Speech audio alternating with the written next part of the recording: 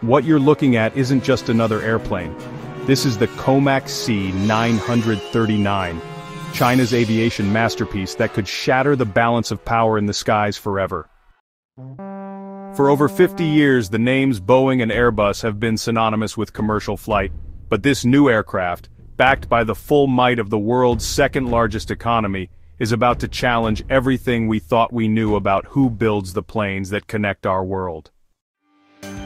Right now, in design centers across China, a revolution is taking shape.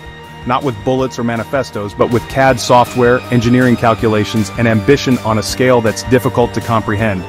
China isn't just building planes, they're building an entire aviation ecosystem designed to break America and Europe's stranglehold on how the world flies. And they're doing it faster than anyone predicted. The question isn't if Chinese aircraft will reshape global aviation, it's when and how Boeing and Airbus will respond when they do. Let me put this into perspective. By 2040, airlines around the world will need more than 39,000 new aircraft, worth over $6 trillion.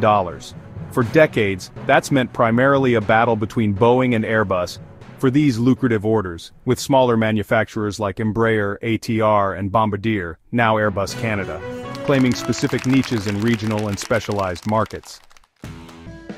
But China has watched this duopoly from the sidelines for long enough, with domestic air travel booming and projected to surpass the United States as the world's largest market by 2043, supported by 1.4 billion citizens and over 200 million middle-income families, and geopolitical tensions threatening their access to Western aircraft, China has decided building their own planes isn't just economically smart, it's a matter of national security. Think about it. In a world where trade wars and sanctions are increasingly common, depending on American or European planes represents an existential vulnerability China simply can't accept.